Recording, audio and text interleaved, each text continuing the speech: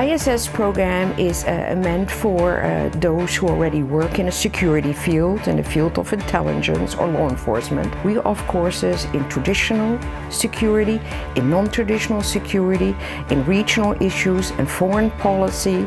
We have tracks that combine those courses so that students can build up a concentration in a particular specialization. We have a wide variety of students who apply to the ISS program, everyone from undergraduates coming straight out of their undergraduate career up through people who are mid-career.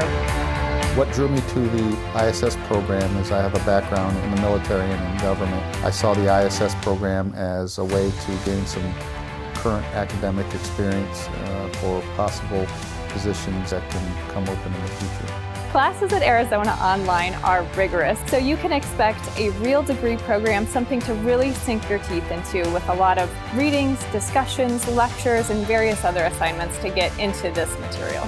Our students will come away from this program with the tools and abilities in order to make their work better, to do their jobs better, to take the tactical experience or the on-the-ground knowledge that they have and fit it into a wider context of international security phenomenon. Getting my degree online is going to open up opportunities for me. What excites me about this program is that we're able to give students an opportunity to get a graduate degree in international security and to be conversant with the risks that the United States faces in the 21st century.